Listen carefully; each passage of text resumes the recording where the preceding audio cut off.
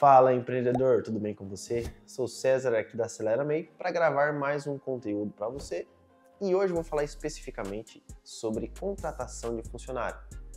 Vou falar sobre os custos, sobre alguns impactos que causam também você não registrar o seu funcionário, os riscos que você pode correr, enfim. E também vou falar um pouquinho sobre os valores, quanto custará na prática, viu? Então, acompanhe no vídeo. Você tem seu negócio, talvez ali, até mesmo antes de constituir sua MEI, você já trabalhava e resolve formalizar, e ele já é formalizado como MEI já num certo nível de pequeno para grande, vamos assim dizer. E desde já você tem a necessidade de ter alguém trabalhando registrado na sua empresa. Né?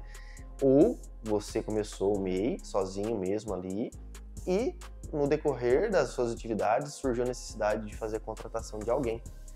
Hoje nós sabemos que é possível sim MEI ter funcionários, só que existe um limite. Então, o primeiro ponto de atenção que eu quero deixar aqui para você é exatamente esse.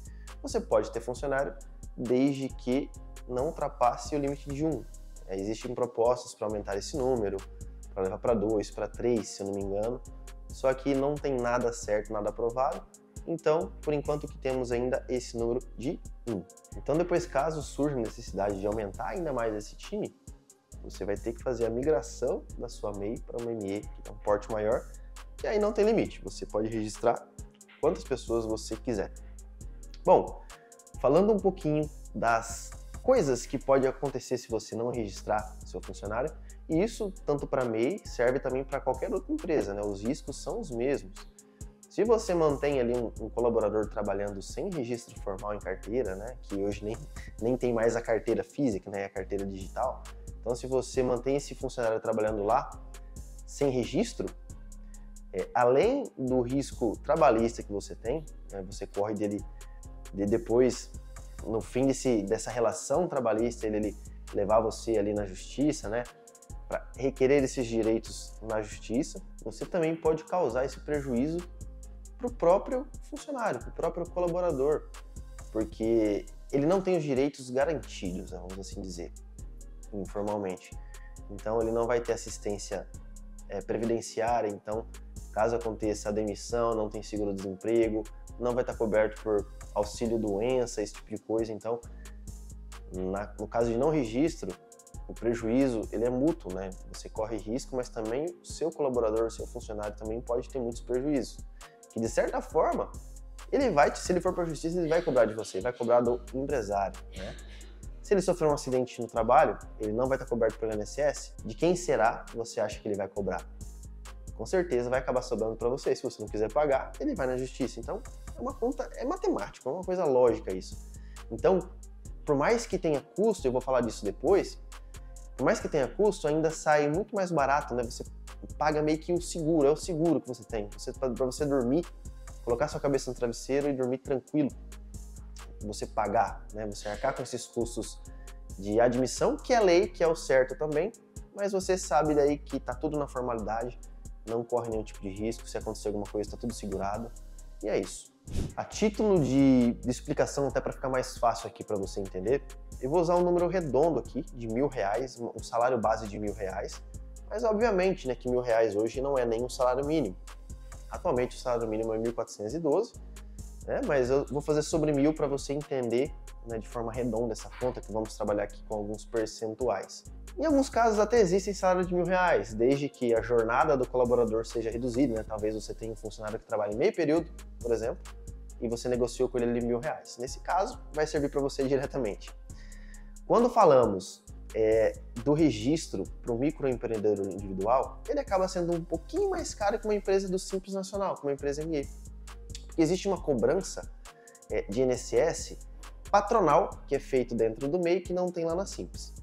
Mas o que acontece? Vamos lá, começando por partes. Um salário de mil reais é o salário bruto do funcionário, mas não é esse que você vai repassar para ele, porque dentro desses mil tem alguns descontos, que esse desconto é direto do próprio colaborador, né, que não sai no seu bolso. Você retém dele e repassa, que é o INSS. Então, a primeira coisa que temos ali dentro da, dos custos, vamos assim dizer, mas que acaba não sendo um custo da empresa e sim do colaborador, às vezes muita gente confunde Porque paga uma guia de INSS achando, ah, eu estou pagando INSS, mas não é, é seu funcionário que está pagando. O salário dele era mil, você vai reter dele 7,5% nesse caso, tá? Que é uma tabela progressiva, mas no caso de mil reais é 7,5%. Então, 75 reais você já vai descontar do salário dele, vai segurar e repassa nessa guia. Então, de mil, o salário dele cai para 925. Então, 925 é o que você vai pagar para o seu funcionário e vai segurar 75, que é referente ao INSS da parte do empregado, que você reteve do salário dele para fazer o repasse posterior para a Previdência. Agora a gente vai entrar nos custos que propriamente dito é seu, que é do empresário. Então temos o FGTS, que é de 8%. Esse é padrão, é uma alíquota fixa para qualquer tipo de empresa e isso não muda, né? no caso de funcionário. 8%, em cima de 1.080 reais. Esse sim você desembolsa, esse sai do seu bolso. Né? Então, além ali dos mil reais, né, vamos assim dizer que você tem de custo, você vai ter mais esses 80 títulos de FGTS. Você tem que recolher todo mês em cima do salário dele. Depois, tem a diferença que eu citei para vocês do MEI, que existe no MEI, que não tem para empresas do Simples Nacional, por exemplo, que é o INSS patronal. Para o MEI, existe uma cobrança de 3% de INSS a título patronal. E esse INSS, sim, sai do seu bolso. Então, mil reais, 3%, 30 reais. Então, o que sai propriamente do bolso do, do microempreendedor nesse caso é o INSS de 30, patronal, e o FGTS de 8%, que nesse caso do exemplo, 80 reais. 80 com 30. Então temos 110 reais de custo para você. É claro que esses são os custos legais, mas uma folha de pagamento ela não deve ser feita, não deve ser calculada em casa. Então você tem que contratar um profissional para fazer isso. Então, você vai ter também mais esse custo, né? Que acaba sendo, em tese, um investimento para você não ter problemas.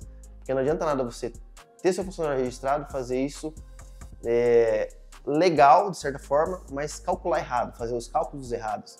Férias, 13 terceiro, tudo isso. Calcular essas guias de forma errada, você acaba tendo prejuízo. Então, esses são os custos que você vai ter de forma recorrente, todo mês, todo mês, todo mês você vai ter isso em cima do salário do seu funcionário, né? A base é essa, né? Então, se for um salário de 2 mil, por exemplo, né? Se o sindicato estipular, né? Porque dentro do MEI existe uma regra também que você só pode pagar para o seu funcionário o salário mínimo do Brasil ou de convenção coletiva, né?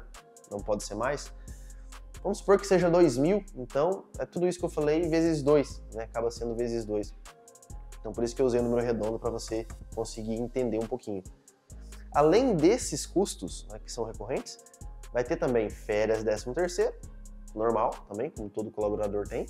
Então você vai pegar o salário do seu, do seu colaborador, seja mil, seja dois mil, seja mil quinhentos, vai dividir por 12 e o mês que ele trabalhar cheio, né? Então ele já vai ter direito a um dozeavos. E em cima desse, desse, dessas férias 13 terceiro, também terão os custos, né? Os custos de INSS, aí é o mesmo cálculo, e os custos de FGTS, da mesma forma também em cima desse valor que você encontrou. Então, vale muito a pena você contar com uma assessoria, porque eles vão te ajudar a fazer tudo isso, exemplificar e mostrar tudo isso muito bem certinho. Não se esqueça sempre de manter essas guias pagas. É muito importante que essas guias sejam recolhidas, porque não adianta nada também você registrar seu funcionário para que ele tenha direito previdenciário se as guias de INSS não são pagas. No fim das contas, ele acaba não tendo direito, porque é essa contribuição que faz com que ele goze desses benefícios. Além de tudo, o FGTS também sendo recolhido no prazo, você é, exclui a possibilidade de ter que arcar com multas e juros. E num, num caso possível de demissão, é, você a, a, não precisa, não vai precisar pagar além da multa rescisória, né, que tem que ser paga de 40% em cima do valor do FGTS, também os FGTS que você deixou de recolher. Então mantenha tudo sempre em dia para você evitar dor de cabeça. Ó, você já sabe, nós da Acelera Meia atendemos mais de 100 MEIs em todo o Brasil e também fazemos esse serviço de assessoria para folha de pagamento. Fazemos todo esse controle, gestão de guias, gestão da folha de pagamento, fazemos envio, cálculo para você todo mês de forma correta para que você não tenha problema. Então eu já vou pedir para você compartilhar esse vídeo com aquela pessoa que está pensando em registrar um funcionário ou aquela pessoa que tem dúvida também em saber quais são os custos e também deixar o joinha para que esse vídeo alcance mais pessoas. Fique por aqui e até o próximo vídeo.